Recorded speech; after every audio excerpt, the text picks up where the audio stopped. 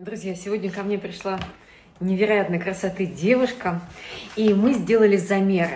У нас с ней за месяц с 74 снизился вес до 69,5. Но это еще не самое интересное. А самое интересное, по моей методике, грудная клетка уменьшилась на 10 сантиметров. Представьте себе, 10 сантиметров у нас с ней ушло с а, объема ребер, потому что я показываю, как менять а, реберную дугу, как а, красивую делать талию. А еще, знаете, как интересно, у нас талия ушла с 83 на 74. Это бедра со 107 до 101. И я, конечно, горжусь такими результатами.